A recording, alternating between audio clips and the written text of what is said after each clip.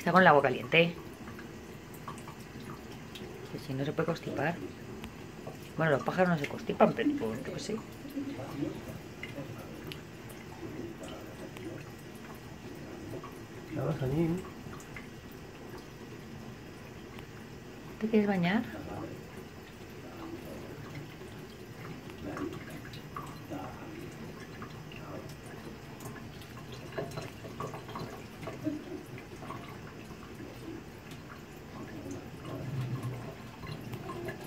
Ese yo estaba a punto de adoptar una nueva